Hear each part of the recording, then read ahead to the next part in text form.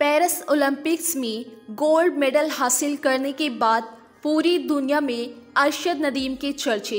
जिस वक्त Arshad Nadeem gold medal हासिल करने के बाद स्टेज पर पहुँचे तो अवाम ने इमरान खान जिंदाबाद के नारे लगा दिए। जिसके बाद अरशद नदीम भी इमरान खान के नारे सुनकर मुस्कुराते हुए नज़र आए।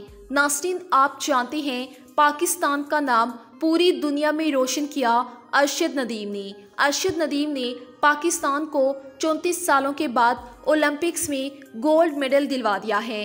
अरशद नदीम जिसको इमरान खान बहुत इज़्ज़त देते थे। इमरान खान की अरशद नदीम के साथ वीडियो भी सामने आई, जिसके बाद कहा गया कि एक चैंपियन की क्या इज़्ज़त होती है, ये एक चैंपियन ही समझ सकता है। अरशद नदीम इमरान खान के बहुत बड़े फ़ैन हैं और यहाँ पर जब स्टेज पर अरशद नदीम पहुँचे तो इमरान खान के नारे लगा दिए गए। हर तरफ़ इमरान खान के नारे गूंज उठे, जिस पर अरशद नदीम भी काफ़ी खुश दिखाई दे रहे थे।